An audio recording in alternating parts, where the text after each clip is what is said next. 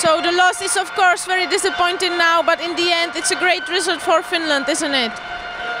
Uh, we played a very good game and all the teammates was very good today and and uh, not so good feelings now.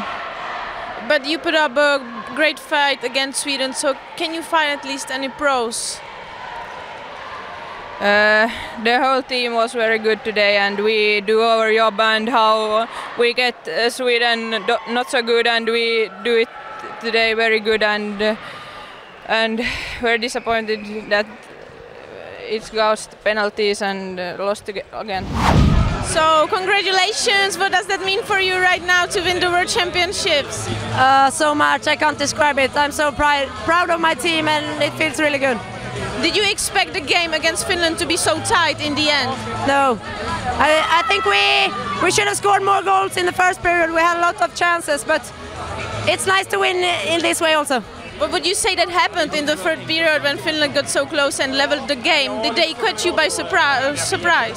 No, Finland is a good team and they have a lot of good players and they score when they got their chance and so, yeah.